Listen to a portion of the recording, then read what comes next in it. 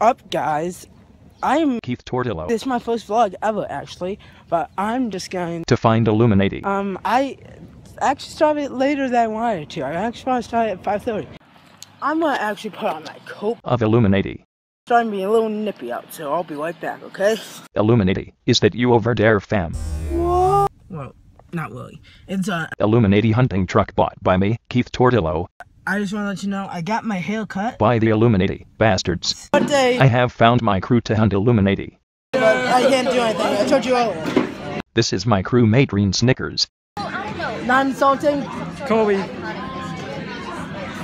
I've killed Illuminati tree time before, fam. Melting. Oh, Holy Tortillo is Illuminati on your shoulder cuz. Never mind it was a tortilla chip. So that OMG could it be true? What's going on, Sir Gaming? Also known as Jack here, and